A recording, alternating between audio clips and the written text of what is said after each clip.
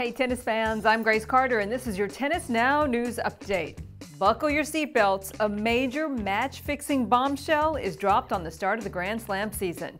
An investigative report by BuzzFeed News and the BBC alleges that 16 players, all of whom have ranked in the top 50, have been linked to match fixing. And it further charges that tennis's governing body is aware of ongoing corruption and refuses to address it. The report, called the Tennis Racket, asserts that widespread match fixing by players at the upper level of the game does exist, and it names 70 players as suspected fixers.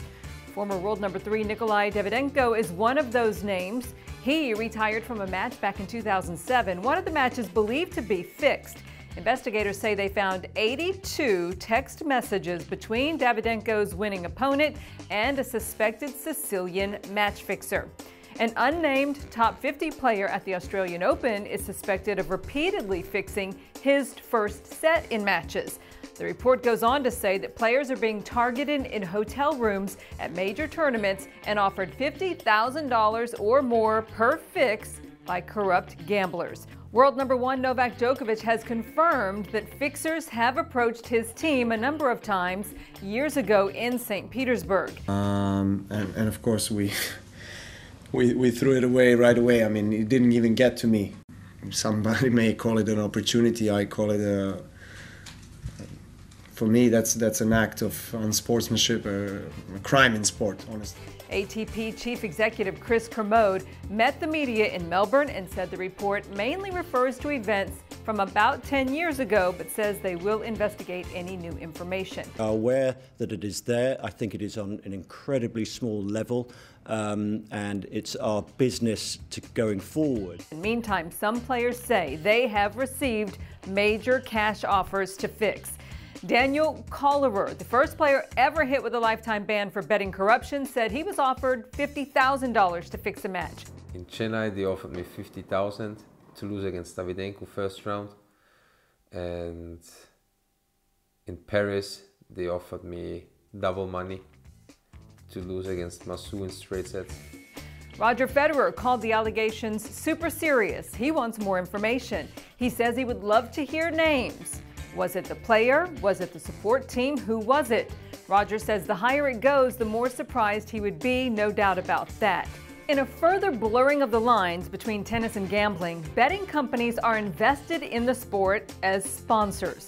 The Australian Open became the first Grand Slam in history to sign a betting partner sponsorship deal with a bookmaker, William Hill. That happened last fall. So, what do you think about all this? Are major matches being fixed or are the cases isolated? Let us know what you think in the comment section. All right, moving on. A young guns arm race launched day one of the Australian Open. That's right, Grigor Dimitrov and Nick Kyrgios both went sleeveless for the first time as temperatures soared above 90 degrees. The guys say they were just trying to beat the heat, but they both got knocked around a bit on social media.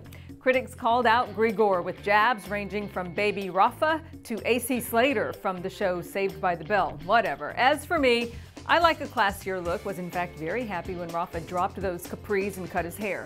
Just saying. All right, among the other notable new looks on opening day, six-time champ Serena Williams made a statement in yellow.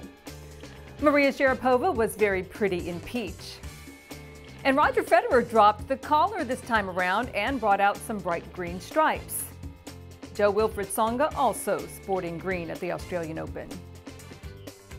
Okay, how can Rafa return to his Grand Slam glory days and how can you hit a two-handed backhand like Nole?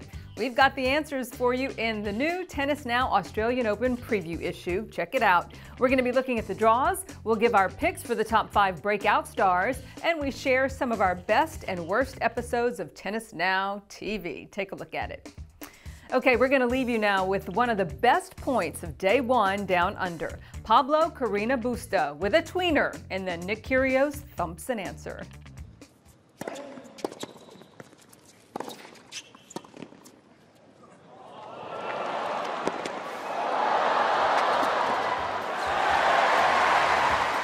That's the news for now. I'm Grace Carter. We'll see you next time here on Tennis Now.